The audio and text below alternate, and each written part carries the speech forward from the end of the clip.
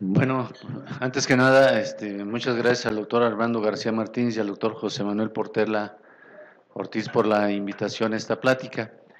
Eh, el tema, pues por demás me pareció interesante y la verdad es que vamos a dar un repaso histórico a lo que hacemos los médicos para lograr eh, de enseñar, enseñar medicina.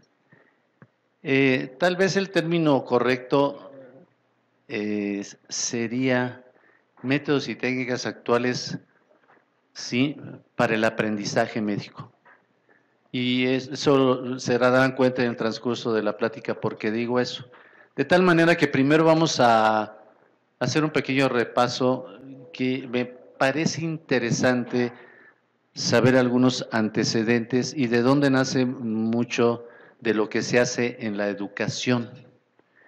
Después daremos un repasito de algunas técnicas habituales que tenemos ¿sí? de aprendizaje y después este, pues les mostraré cómo este, algunos están muy actualizados y otros estamos verdaderamente retrógrados en esto. Este, va a ser difícil que me estés este, viendo con la camarita porque no, no, no, no soy de los que se queda estático. Este, necesito estarme movilizando. Bueno, nada más eh, quiero aclarar algunos conceptos que vale la pena y ya verán por qué lo, por qué lo, por qué lo hago. Entonces, la etimología de la educación, esto, esto es, proviene del sustantivo latino educatio, derivado de educare, que quiere decir educar, criar, alimentar, y se formó mediante el prefijo ex, fuera, y el verbo ducere, guiar, conducir. Esta es un término indoeuropeo. Y la educación se puede definir como un proceso de transmisión de conocimientos, acuérdense de esta palabra, y contenidos destinados a desarrollar todas las potencialidades de un individuo o como la instrucción por medio de la acción docente. La educación, pues, es un cambio, es si no logramos con la educación hacer un cambio es que no estamos educando. Ustedes ven esta pequeña caricatura, como es ciertas personas y cuando pasan por un proceso de educación, pues lo que quiere decir esto es que sufren una transformación. La educación es una transformación de una persona para lograr los fines que a él convengan, ¿sí? Y que puede ser llevada a cabo en diferentes situaciones y en diferentes aspectos. Este era el ejemplo clásico antes cuando íbamos a las escuelas y tal vez en algunos les tocó en las residencias. Así era la educación en la residencia. ¿Sí? O haces las cosas o nos cortaban la cabeza, así de fácil. No necesitaban acudir al departamento de enseñanza, el jefe del curso, para quejarse, como me lo hacen ahora, de que su residente R1 no fue a la guardia. Y en mis épocas, si yo era rotatorio, el R1 me podía decir, te quedas a la guardia el domingo, punto. No había tanto rollo, de tal manera que el departamento de enseñanza, bueno, tengo una de visitas, como no tiene idea, que antes se resolvía con el jefe inmediato superior. Entonces, la educación finalmente es un proceso de enseñanza-aprendizaje. Este proceso no es más que la capacidad del ser humano de transmitir sus conocimientos y experiencias en la forma que ustedes quieran. Hay autores que han conjugado, bueno, han juntado la palabra enseñanza-aprendizaje y la denominan enseñaje. Yo la uso mucho porque solamente ese autor ha leído que le llame enseñaje. Y créanme que hace tiempo que lo leí, que ya ni me acuerdo qué autor fue, pero la palabrita se me quedó. ¿Por qué? Porque no hay uno sin el otro, ni el otro sin el uno. Aunque, aunque la educación está orientada ahora más al alumno que al maestro. Por eso se le llama, se orienta más todo al aprendizaje, no a la enseñanza como en nuestros tiempos. Tú que tienes ganas, pues hacemos más o menos de la misma edad. ¿Sí? ¿Ok? Entonces, el conocimiento se lleva a cabo por una serie de actos, por una serie de hechos que puede ser iniciar con una serie de datos aislados que se reúnen y se conjuntan en una información y después por cierto proceso reflexivo sí se adquiere a través de un procesamiento de decisión un conocimiento. Entonces, la forma más simplista de adquirir conocimientos, tengo muchos datos, conformo una información y ¡pum! La proceso y la elevo a un proceso reflexivo llamado conocimiento.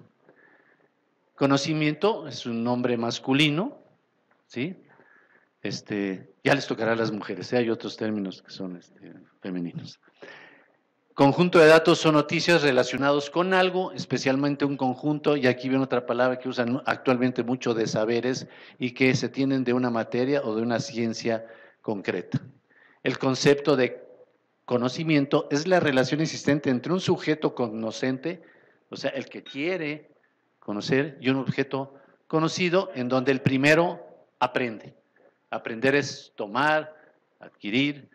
Ustedes de chiquitos no conocían a los perros, de repente ven un animal cuadrúpedo, sí, que anda por la casa, por todos lados, y de repente es muy juguetón o que de repente muerde, y entonces adquieren ese concepto, ese saber de perro bajo la experiencia que sea, pero eso adquiere un conocimiento. Y después, si yo digo perro, o sea, cada quien nos estamos imaginando uno diferente. Y eso es lo precioso a veces cuando elevamos el conocimiento a un grado que procesamos reflexiones. Perro y cada quien se imagina el que quiere. No, no nos podemos imaginar todos el mismo perro. ¿Ok? El que yo me imagino los que tengo actualmente ahorita en mi casa. A lo mejor tú te imaginas el que te mordió, a lo mejor el que le diste una patada porque te quería morder, en fin. Pero bueno, siempre, siempre el conocimiento va a través de una información, está relacionado con un contexto y con una experiencia. Y eso hace que se conforme el conocimiento en parte. Les pongo esto porque esto es una de las cosas que más, más me ha impactado a quien nos gusta la enseñanza, que la enseñanza tiene diferentes niveles, ¿sí? Desde el que se hace cotidiano en la casa, con sus hijos, o el que llevan ustedes en ciertos lugares. Cuando nos casamos, ¿sí? El hombre aprende que tiene que obedecer, ¿no? Entonces, pero este libro, La educación encierra un tesoro, es un ah, libro que fue publicado hace mucho y que actualmente es lo que en México apenas la reforma educativa quiere establecer. Fíjense nada más, esto fue Jacques es francés, no sé, me perdonan mi pronunciación, pero no sé cómo se pronuncia, yo lo voy a decir en español, Jacques Delors, y fue el encargado, a través de la UNESCO, el estudio sobre la perspectiva de la educación en el mundo de cara al siglo XXI. El nombre de dicho informe fue La educación encierra un tesoro. Se los recomiendo que lo lean.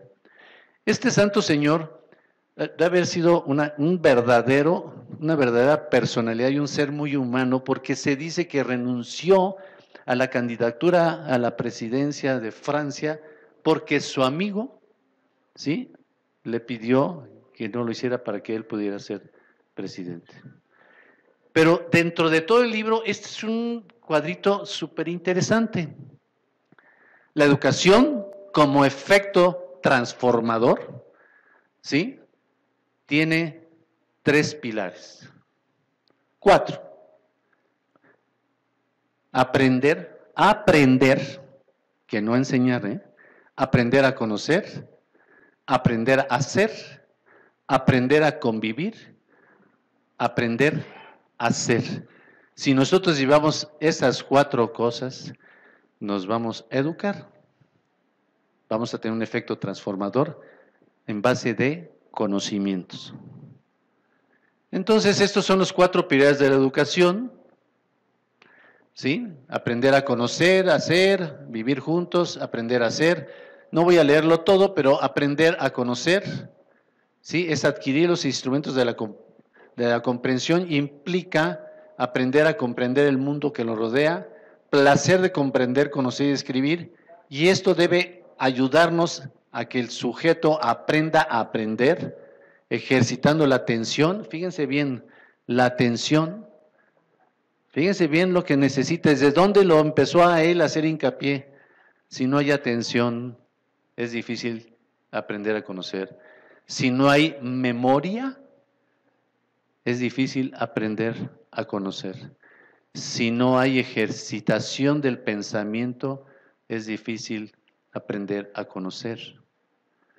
Ya verán por qué les digo todo esto. Obviamente hay que aprender a hacer, que es el otro paso.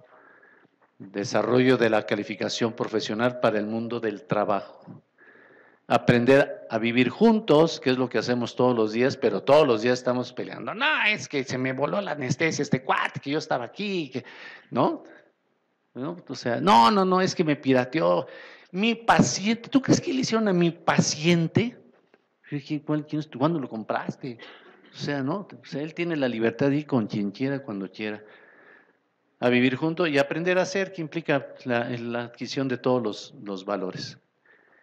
Entonces, el proceso de enseñanza es, y aprendizaje es un acto didáctico. ¿Qué quiere decir eso? Fundamentalmente hay dos clases de didáctica, la didáctica autoritaria y la didáctica crítica. ¿Cuál creen que llevamos los que tenemos aquí? Bueno, yo voy a decir una cifra, más de 50 años. La autoritaria, ¿no? O sea, este, yo me acuerdo que mi, mi linda madre que ya falleció se acercaba a mí y me decía, ¿verdad que te vas a ir a acostar? Pues sí, mamá. No, tengo, si no tengo sueño, no, si ya me dio, ya ahorita me dio. La, la didáctica actual es la didáctica crítica. ¿sí? Es la que lleva y debe ser llevada en las escuelas, porque es la didáctica reflexiva, de confrontación, de discusión, de argumentación. Les digo todo esto porque los tiempos han cambiado para aprender. Es totalmente diferente. Esta es la etimología de la, de la palabra, arte del análisis etimológico. La didacta es el arte de enseñar.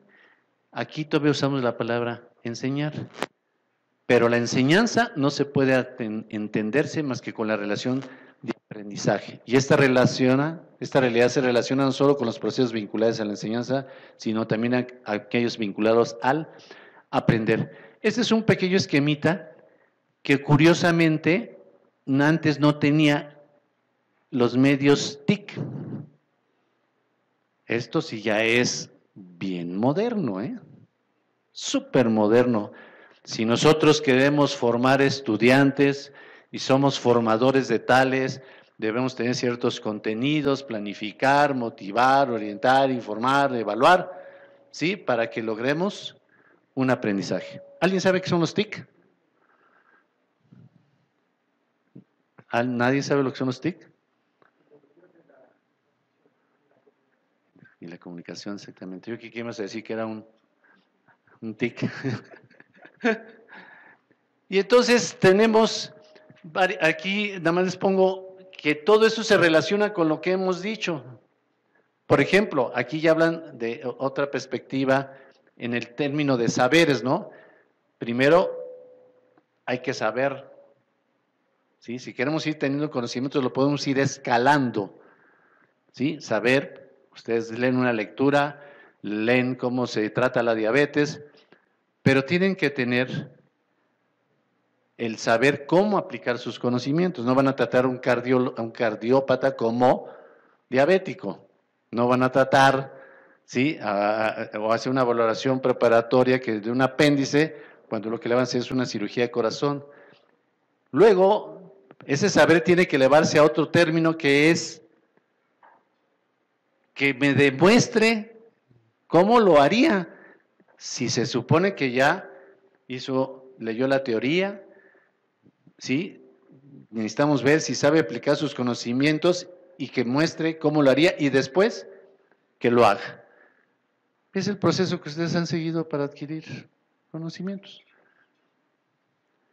Ahora, también cuando ustedes quieran llevar a cabo esta acción o que sus alumnos lleven una manera de cómo aprender, también, no voy a hablar de todos los estilos de aprendizaje, pero también tienen que evaluar también qué es lo que quiere el muchacho, ¿sí? Porque hay gente que aprende muy bien viendo, hay gente que aprende bien oyendo, hay gente que es súper inquieta, ¿sí? Y hay diferentes modelos. Por eso luego tenemos problemas, algunos profesores con algunos residentes, porque nosotros queremos que aprenda como nosotros aprendimos, o quiere que aprenda con lo que yo creo que es lo que necesita el muchacho. No, por eso nos tenemos que orientar al aprender, no al enseñar. Son dos actos diferentes, indisolubles, pero son diferentes. Cada quien aprendimos de diferente manera. Y paso a este punto. Entonces, ahora sabemos que para ser residente tenemos que pasar, o tienen, bendito sea Dios, pasar un curso, bueno, el ENAR, y ya hay pues, los cursos ENAR. La verdad es que no sé, a ver, ¿qué opinan ustedes de las universidades? que después de cuatro años de darles conocimientos, ¿sí? de, saberes, de, aprender, llevan un año de internado que están en nuestros hospitales y luego tienen que tomar un curso de 20 mil, 30 mil pesos para pasar un examen. Pues ¿qué hicieron cuatro años? Bueno, el caso es que, bueno, las residencias pues eh, eh, llevan un programa de único y especialidades médicas, que se supone cuando hay un residente en cada una de estas residencias se tiene que cumplir. Y bueno, nada más les pongo esto para que vean el examen nacional de residencias de las plazas ofertadas desde 1990 y tantos hasta la fecha.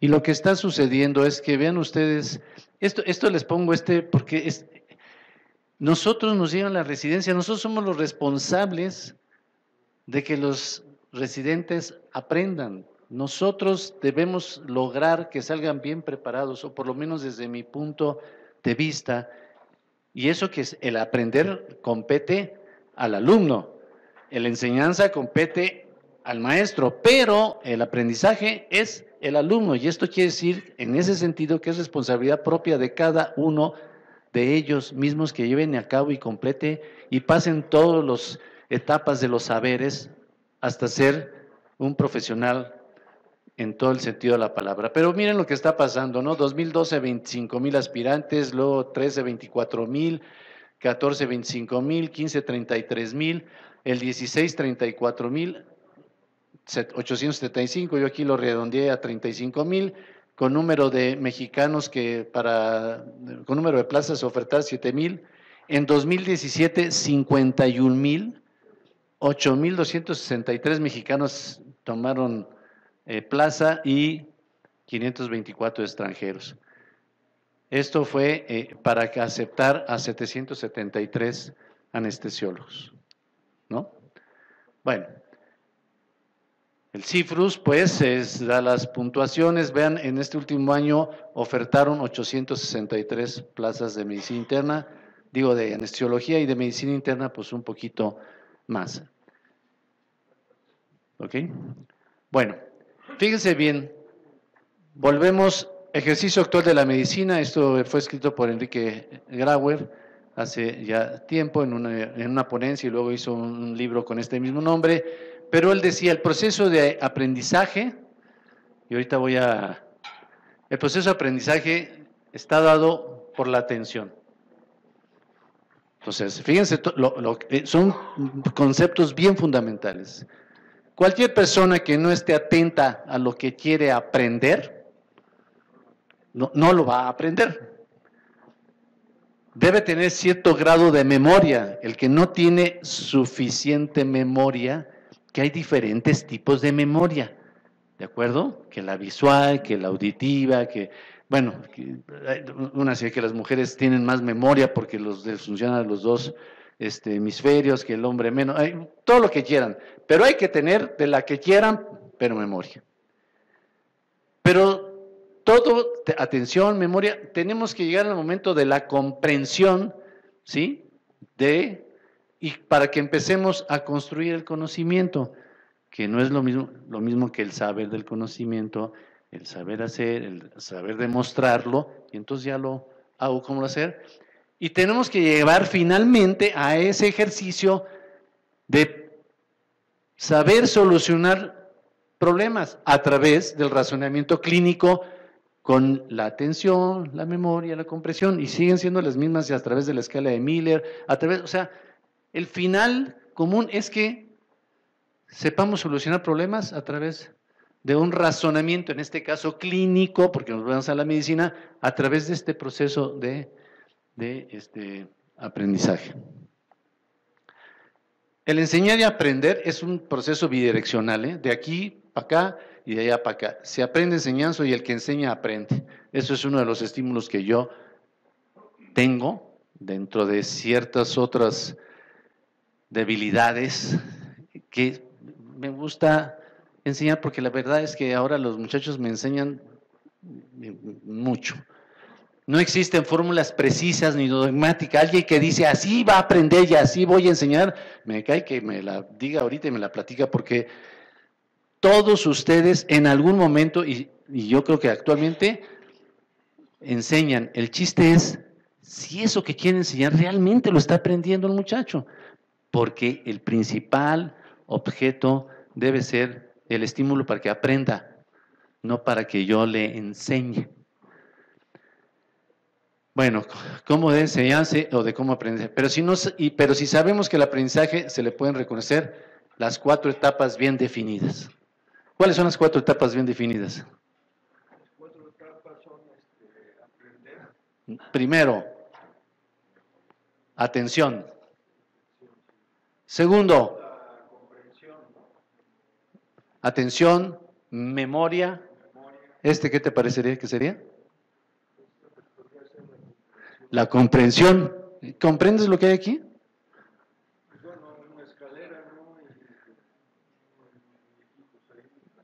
A ver, ¿quién me dice más? Número. Un mensaje, es un Picasso, para empezar. Pero ¿qué, qué, qué están comprendiendo, doctor? ¿No? ¿No ves nada? El Picasso tiene una serie de Cristos en la cruz. Ahí está Cristo y ahí está la cruz. No, pues, entonces ponemos atención, memorizamos. Yo vi la foto como 50 mil veces para decirle, bueno, ¿dónde le voy decir que está el Cristo? Hasta que, pues aquí están las escaleritas, aquí está esto, aquí está el Cristo, aquí está la cruz. Pero finalmente, atención, memoria, comprensión, ¿para qué? Para solucionar problemas. ¿No? Me lavo las manos, menos sepsis en las embarazadas, ¿no? Qué medida tan sencilla. ¿Ok? Pues para que entren todos los conocimientos, ¿sí? Que tenemos aquí en este mundo, ¿sí? Entren en nuestra cabecita y ahí se nos queden, ¿de acuerdo? Entonces también hay que ver el estudiante si es activo, si es reflectivo. De repente vemos uno y dice, oye, ya muévete, no seas tan pasivo, man. Bueno, pues así es él. Si así quiere aprender, pues así aprende. Tenemos al otro, al, hiperactivo, ¿no? Que anda, que voy a urgencias, doctor. No, y ahora voy a ir a rayos X a ver cómo está. Y me voy a ir al laboratorio. Y no, ¿sabe qué? Puta madre, dices, no, pues que se vaya solito y hay que me platique, ¿no? ¿Sí? Tenemos el, que el intuitivo, que nunca estudia nada, pero resuelve problemas. ¿No? Hay, gente que dice, oye, este, este cuate es un flojo, no, no me contesta nada en la clase y todo. Pues sí, mano, pero yo lo veo en urgencias y cada vez que hay el paciente, resuelve las cosas y cada vez que esté, todos tienen sus beneficios y sus peligros. No voy a hablar de eso, pero hay diferentes tipos de estudiantes, hay diferentes tipos de estudiantes. Y eso lo tenemos los que estamos metidos en enseñanza y que quieren que aprendas, tenemos que comprenderlo. Si no lo comprendemos, no vamos a poder solucionar los problemas de aprendizaje. Bueno, el modelo que tenía la medicina para enseñar y aprender más viejo de la historia se llama la tutoría clínica. ¿no? Te pegabas a un maestro y entre más años tenemos, teníamos tutoría. Entre más reciente es ahora, es más difícil tener tutores, porque, y a veces hay hospitales que se prestan eso y hay hospitales que no se prestan a eso. La clínica, comencé a estudiar la medicina completando la lectura con las observaciones de los enfermos, lo que me enseñó muchas cosas que no se pueden hallar en los libros de texto el tutor, no hay mejor manera de enseñar a un hijo o a un alumno que con el ejemplo. El principio de la educación es predicar con el ejemplo. Proverbio chino, ahorita se los pongo. Maestro médico, los hombres aprenden mientras enseñan. Esto es de Séneca. Y si te atreves a enseñar, no dejes de aprender. Este es el proverbio chino. Si tal vez pueda recordarlo, si lo veo, escucho, seguro me será utilidad, pero si lo leo, lo oigo y lo hago, jamás podré olvidarlo porque ya forma parte de mí mismo. La regla de los 20, 40, 80. Si lo escucho, me voy a acordar un 20%. Si lo escucho y lo veo, me voy a acordar un 40% si lo escucho, lo veo y lo hago, me voy a acordar un 80%. Eso es lo maravilloso de aprender en el sitio donde vamos a trabajar, porque lo oímos, lo vemos y lo estamos viendo. Eso nos facilita mucho quedarnos, o sea, con eso, quedarnos con el conocimiento, aprender. Bueno, esas son teorías. Ah, les presento a Chinchunchan. Chin Chan es este, mi filósofo preferido. Y esto se los tengo que decir porque se los digo a mis residentes, a los de pregrado, a los de posgrado y a todo el mundo. ¿no? Chin Chan vivió pues hace un titipuchal de tiempo, ¿no? Pero era un gran maestro. Y Chin Chan tuvo un principio que yo siempre les digo a mis alumnos cuando revisan a un ser humano. Y es lo primero que tienen que pensar. Porque les digo, ustedes tienen que aprender lo que es normal. Si lo normal es lo que está bien, ¿sí? Si no está bien, ¿qué quiere decir? Lo que no está bien está mal. Y si no está mal, pues hay que ver si es de chile, de mole o de lo que ustedes quieran. ¿Ok? Bueno, eso es, digo, esto se los digo porque luego no saben ver ni lo normal, pues ¿cómo van a saber lo que es anormal? Pues no. Sí, con mucho gusto. Bueno, entonces ahí la estructura jerárquica de los diversos. Nosotros en medicina, ¿qué usamos para aprender? Hacemos una escala de los escritos, de los estudios, para darles un valor de lo que creemos es lo que debe ser adquirido para nuestro aprendizaje, ¿no? Entonces viene la escala de que un, estudio clínico controlado tiene cierto grado, un metaanálisis otro, una revisión de casos es vale tanto y todo. Les digo esto porque ahora los muchachos, ¿sí? ¿Ok? Usan mucho esto para rebatirnos a nosotros. Porque nosotros, los más viejos, tenemos un juicio clínico y a veces no nos acordamos de muchas cosas. Pero es una frase que ha caído en la desgracia. Ya nadie respeta el juicio clínico porque te sacan el metaanálisis, el estudio clínico controlado, el caso, quién sabe qué, ¿ok? Y esto ya Señores, no se ofendan, ¿sí? Cuando les digan, no, doctor, eso no es verdad, porque en el metaanálisis dice que lo que usted dice no sirve. Tan, tan, adiós tu experiencia, adiós todo. ¿Sí? Por otro lado, este, este es un artículo de, queja ¿eh? que está publicado en New England. Todo esto lo ponen ahí ellos. Los pacientes ya no son pacientes, sino más bien clientes o consumidores. Es cuestión de acostumbrarse, ¿no? pero así como que en el fondo, a algunos, en lo personal, como que así digo, uy, coño, como que No, es que no es mi cliente, es mi paciente. Claro que a la hora que le dicen uno, no te voy a pagar, ay, ahora sí, si sí, eres un cliente desgraciado, maldito, ¿no? Pero bueno, va cambiando esto. Los médicos y las enfermedades se han transmutado en proveedores. Son cosas que nos tenemos que ir acostumbrando, ¿sí? Pero dentro de lo que son la estructura de los métodos para generar evidencia científica, ¿sí? Está la evidencia que forma estas escalas, está la experiencia que siempre se nos olvida y están los valores y preferencias de los pacientes, ¿sí? Entonces, eso lo tenemos que tener en cuenta. Bueno, obviamente puse esto porque, por favor, Santo, yo creo que los principales enseñadores, ¿sí? Son los mismos residentes, ¿sí? Son los que aprenden de sus residentes de mayor jerarquía.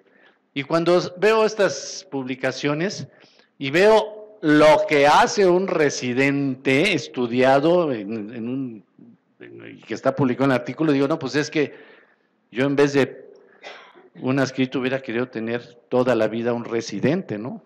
Pero la verdad es que el que más enseña en esos términos y que ayuda a que aprendan sus residentes, que es el mismo residente, nos guste o no nos guste. Y así los vemos llegar y así se van.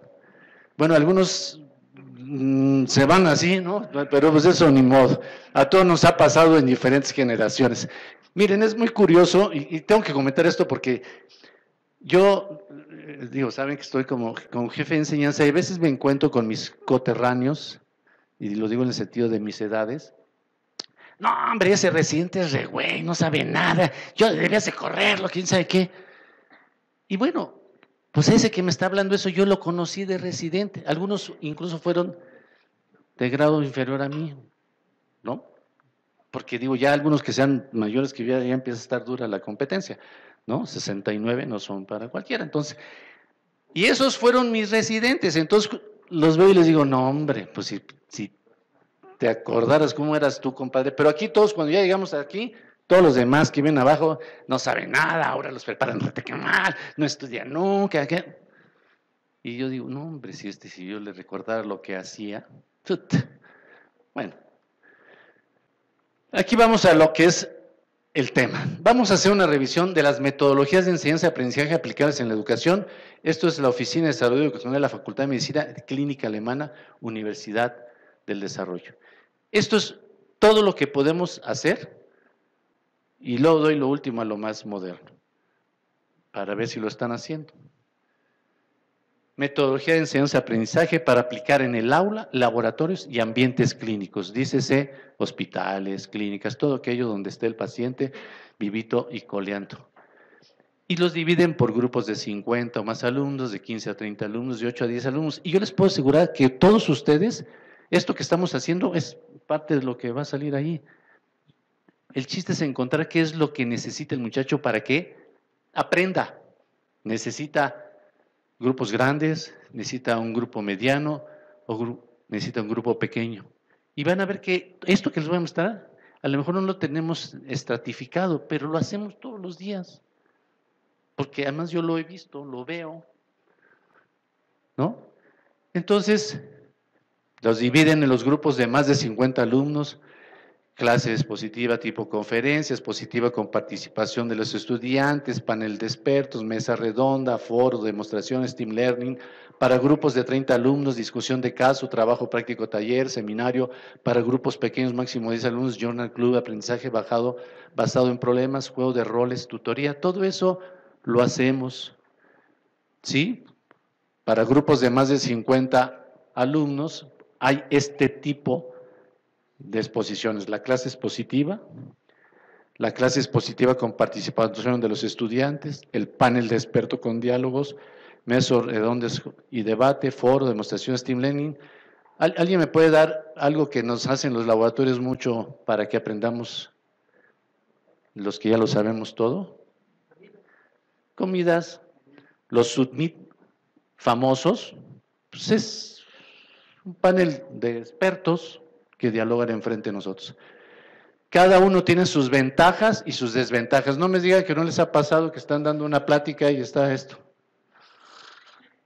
pues ese no está aprendiendo, digo, porque no está poniendo atención, por lo menos no va a acordarse ni más de nada de lo que dijimos y por ende menos va a comprender. Aquí están las ventajas, ¿sí? Se entrega mucha información en muy poco tiempo, ¿no? Nos dan una conferencia, este, bueno, yo he ido haciendo conferencias que han tardado más de 50, 60, 70 minutos y dices, ya bájate, güey, porque en la última media hora, o a lo mejor más, no entiendo, ¿no? Y no, yo me acuerdo una vez que fuimos a, a Londres a oír una conferencia sobre antibióticos y este, y estaba un infectólogo, pediatra, el doctor Marte, que es un excelente y tiene muchas publicaciones, pero llegamos como a las 5 de la mañana y las conferencias empezaron a las 7. Entonces, de, llegando y vámonos al auditorio, y era un auditorio, pero que casi estaba en pendiente, así, no sé si se han subido al estadio Azteca hasta arriba, pues igualito, ¿no? Está uno así, si hace uno así, pues te basta. Entonces, y yo me senté atrás del doctor Marte. Entonces el doctor Marte, yo dije, pues qué atento está, porque estaba así, ¿no? Y, el gringo, bueno, perdón, el inglés, ¿no? Ya son muy propio. Antes de empezar la conferencia, Forte Queen, todos gritamos, ¿no? Y todos así. Y empezó Marte. Y dice, todo el mundo volteó, pero lo peor es que cuando hizo eso, luego se fue así para adelante y lo alcancé a pescar porque se iba a ir sobre el otro, y se la pasó así toda la conferencia, no nos sacaron porque Dios es grande. Bueno, pero vean, tiene sus ventajas, ¿no? Es más económico hacer una cosa así. Ok, las desventajas fundamentales. Audiencia básicamente pasiva. A veces no sabemos ni por qué va. Los expositores no necesariamente necesitan ser buenos profesores. No, se, no permite controlar el proceso de aprendizaje de estudiantes. No hay una retroalimentación cuando hay la misma tipo de expositiva, pero con participación, pues también tiene sus ventajas, ¿sí? Puede impactar a muchas personas simultáneamente, también es económica, tiene sus desventajas porque los temas pueden tender a desviarse del asunto central. Cuando no sé cuándo les ha tocado dar una plática de anestesiología y te salen, bueno, ¿y qué tú opinas de, empiezan a, cuál es el costo del propofol o del propofol o del no sé qué? ¿no? Y no, es que es mejor el rocatrol, porque quién sabe qué. No, pero fíjate que la otra vez que le pusimos un paciente, este, no, y te están preguntando el público y dice, güey, ¿no? Ya el, el, que conduce, ya hay algunos muy hábiles que les he visto, bueno, terminando la plática, el doctor ya dijo que tiene como una hora para platicar todas sus conferencias, y saca, te lo saca, y terminando la exposición, el expositor se va y se larga, y dice, ¿qué media hora ni qué nada? Yo ya me voy, ¿sale? Pero bueno, esa es una, es una desventaja. Obviamente se requiere entrenamiento del profesor en estrategias metodológicas. Cuando ustedes van a hacer una presentación o algo, tienen que saber lo mínimo de lo mínimo. Y ahorita al final también les voy a poner algo que vale la pena que todos aprendamos. Hay grupos de máximo de 30 alumnos, pues uno de los ejemplos es eh, el, ATLS, el ACLS, ¿no? que es teórico práctico, eh, con pocos alumnos, no con tantos, pero debe ser máximo 30 alumnos. Estas no son cifras así tajantes, pero bueno, es lo que nos da. Pero puede ser la discusión del caso, un trabajo práctico taller o un seminario. Este es, este es nuestro gol estándar, ¿no? La discusión de los casos clínicos. Es lo que más hacemos, ¿o no? Nos fascina discutir los casos clínicos, ¿no? Los alumnos, las ventajas, pues generalmente se pone interesante de acuerdo con los días, pero puede tener también desventajas, ¿sí? Para poderse llevar a cabo. El, trabajo práctico taller, las ventajas, las desventajas, ¿sí? Refuerza el aprendizaje con la experiencia visual, ¿sí? Y manual, o sea, te explican, ¿sí? Luego lo haces y se supone que ya lo estudiaste. Y si no te llevas el recuerdito para decir, bueno, ya lo vi, lo voy a estudiar y te vas acordando de lo que hiciste y lo que viste y te refuerza mucho en, los talleres. Yo me imagino cuando hacen ustedes talleres de intubación, pues van a la teoría que la laringe, que las cuerdas vocales, que quién sabe qué, ¿no? Y luego ponen el monito y vean cómo se ven, ahí se ven las cuerdas vocales, y entonces que mira que la clasificación para, de la laringe para ver si le pueden intubar o no a ver, ahora hazlo tú y ta, Y luego, si no lo estudió, que es lo ideal, llega, lo lee y pues, recuerda, entonces le queda fácil, ¿no? Que se supone que con eso lo puede hacer. Claro que luego lo toca un vivito gordito, ¿no? Con el cuello corto, así, y vamos a parir chayotes. Luego hay los, cursos con grupos pequeños, Journal Club, aprendizaje bajado en problemas, juego de roles y tutoría.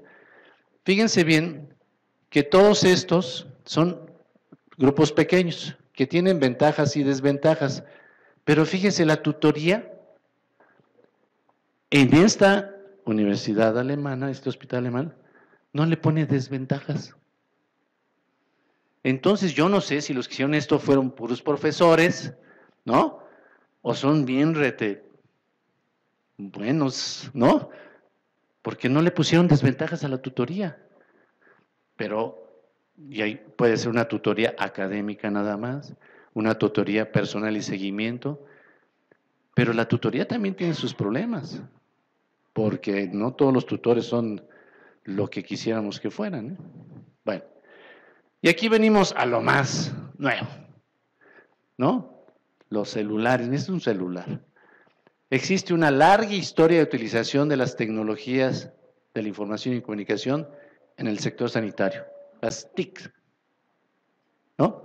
Cinco razones de la importancia de las TIC en la medicina. Ayudan a la investigación. Trabajo colaborativo. Agiliza los procesos. Lo que nosotros tardamos en conseguir una bibliografía, doctor Portela, en tus tiempos, y luego llegas a conseguir la revista, chin, le arrancaron el artículo que andabas buscando, malditos desgraciados, ¿no? mejorar la práctica y mejorar los avances médicos. O sea, esa es la verdad. O sea, es fabuloso tener telefonito. Una de las principales motivaciones para la aplicación de las TIC para las organizaciones sanitarias públicas y privadas se encuentra en la mejoría de la eficiencia de la gestión. No solamente para que el muchacho prenda, para todo lo que se lleva a cabo en este condenado hospital, nos da una conectividad general de todo lo que es el ambiente médico hospitalario. Fíjense, esto fue escrito eh, en el 2010 y pues vean todo lo que dice aquí, la realización de seminarios, de ejercicios, resolución de problemas, discusión de casos. Se considera conveniente reforzar las enseñanzas de tipo práctico ya sea las modalidades de prácticas vinculadas a asignaturas o en la modalidad de prácticas preprofesionales, rotatorias o tutelares. Y luego, el desarrollo informático permite a profesores y estudiantes un acceso rápido, exhaustivo a la información a través de las tecnologías de la información y comunicación, TIC, las plataformas educativas y otros recursos electrónicos. La Universidad de Salamanca. Todo aquel aplicativo que apoye directamente al proceso de enseñanza, aprendizaje y verificación se le llama MEC. ¿no? Para los jóvenes es muy fácil, ¿no? Es que tengo un TTS y un TIC y un MEC, dice uno, pues quién sabe qué están hablando, pero bueno. Pero un MEC son los materiales educativos computarizados. Ya llegaron hace mucho, que no nos ponemos al corriente de los de cierta edad para adelante, porque hasta nos cuesta trabajo manejar el celular, bueno, ya más o menos sabemos decir, bueno, sí, pero hay en computadora, eso, eso ya está aquí, eso es, así es como se está aprendiendo ahora. Por cierto, tiene ventajas, como, como todo, permiten el logro de los objetivos de aprendizaje, facilitan la producción de la enseñanza, cumplen las exigencias y expectativas de los programas de estudios vigentes, usan herramientas virtuales actuales, promueve la participación del alumno y la investigación, porque los jóvenes están acostumbrados a eso, les fascina, ayudan a la construcción del conocimiento, eso no hay duda de que sirven. Y ahí es donde yo creo que nos quedamos muchos atrás. Tiene sus desventajas. Este diálogo alumno-profesor profesor tradicional, pues es, a veces, bueno, ahora hasta se enamoran por internet y ni conocen a la persona que está allá, nomás oyen la vocecita. ¿no? Por aquí yo tuve una paciente de 16 años que se vino porque se quiso suicidar porque su novio de internet la mandó a volar. Y le decía yo, ¿y, cómo es que? No, pues no sé. Pero bueno, entonces, este, pero me enamoré de él porque me dice, me pone cosas muy bonitas. Ay, güey. Dije, pues que me pase la fórmula, porque. Sí, este. En paquetes cerrados no hay lugar para el desarrollo de la creatividad. Los medios virtuales desplazan el libro tradicional, tan bonito que hay gente que dice, no, es que yo compro el libro porque me gusta como huele. Qué, rico es leer las páginas. Pues tú te ríes porque tú va a ver no te gusta el olor de tu laptop o tu... Están expuestos a virus informáticos en la red y las fuentes de información no siempre son confiables. Eso hay que tener mucho cuidado. Deben evolucionar según las necesidades y expectativas y realidades del contexto actual, sin las limitaciones de espacio, tiempo, y pueden hacerlo en cualquier momento. Uso actual de la tecnología de información y comunicación en la educación médica. Fíjense bien lo que dice, esto es del 2017.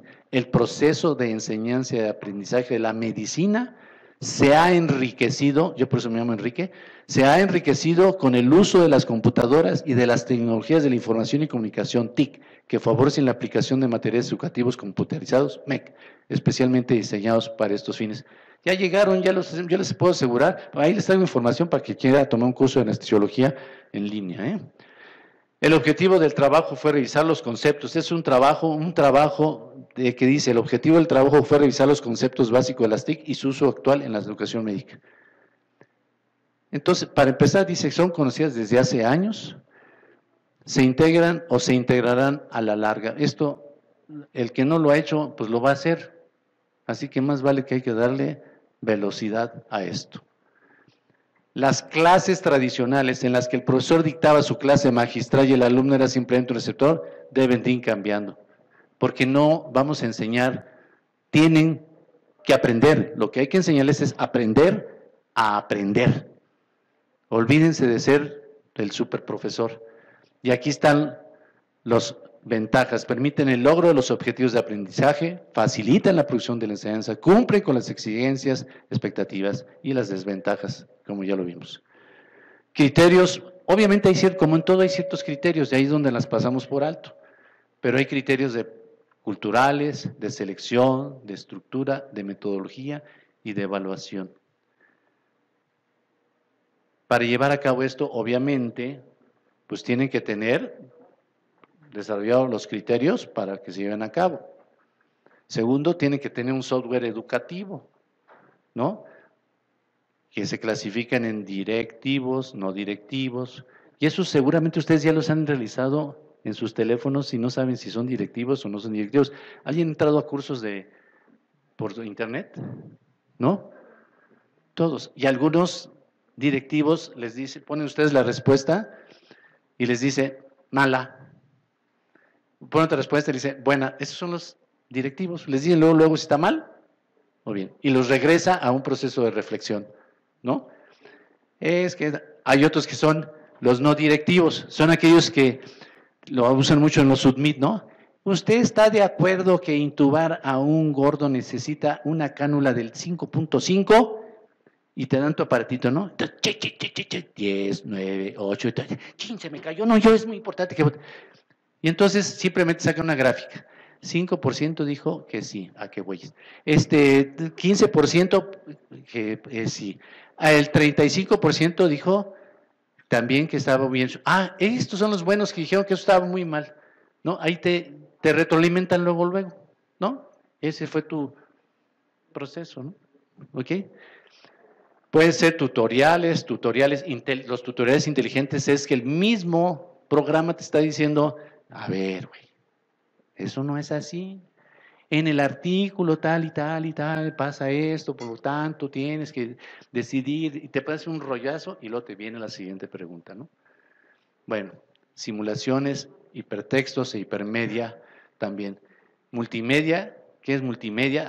Tienen que tener una multimedia que consiste en el uso de diversos medios, ya sea el voz, por voz, por texto, animación, videos, gráficos, datos. Ustedes se meten al New England y le ponen ahí intubación y sale un monito, ¿no? Tiene que tener al paciente acostado. Eh, te empiezan a toda la Necesita tener un laringoscopio al alcance. Checar que esté prendida la luz. Te va diciendo todo para que vayas aprendiendo. Obviamente tienen que tener un e-learning, que son las metodologías que se usan y que se van aplicando, ¿sí? Para poder llevarse a cabo esto. Vean este mismo artículo, dice, estos jóvenes, que no se refieren a nosotros, considerando la generación NET, porque nacieron a partir de los años 80 y tienen un alto nivel de interacción y de uso de las TIC en su vida cotidiana. Pues ahí están. Estos son los recursos e-learning, son los buscadores, organizaciones de información, buscadores, sindicación de contenidos, redes sociales, publicación, todo, Wikimedia, todo eso. Miren, aquí hay, aquí van a dar una conferencia de anestesiología, no sé si los conozcan, el campus virtual intranet, no sé si alguien se ha metido a esto, este, yo de pura curiosidad me metí a esto y decía curso gratuito de electrocardiografía. Entonces yo doy cada año junto con el doctor Díaz Weber el curso de electrocardiografía. Posiblemente lo dan los residentes y nosotros estamos ahí. Entonces dije, pues, me voy a meter al curso. Calificación médica probatoria media mínima, 7. Dije, ay, ¿cómo que no? ¿No? Lo, aprobé, ¿eh? ahí tengo mi diploma. Pero está bien divertido. O sea, dije, pues a ver qué, ¿Cuál es el atractivo de andar este rollo? No, y pues se vuelve una competencia con uno mismo, la verdad. La industria farmacéutica, Mescape, pero vean ustedes, esto que salió muy chiquito, esto la, Universidad La Salle, de la cual llevamos la mayoría de los cursos, da programas de enseñanza para que uno aprenda cómo realizar toda esta tecnología, diplomados, seis meses, para que se pongan al tanto los profesores, que ya se va a volver obligatorio, ¿eh? por cierto, doctor Bueno, no sé si ya lo sepas hacer todo eso. Metodología basada en la tecnología de la información y comunicación para resolver los nuevos retos de la formación de profesionales de salud. Este fue el objetivo, llevar a cabo un programa para hacer trabajos de fin de curso, sí, en el espacio europeo de educación superior, esos fueron los materiales y métodos, se creó un instrumento TIC pedagógico con estructura de árbol en cascada para que el alumno fuera haciendo su trabajo de fin de grado. Y aquí están los resultados.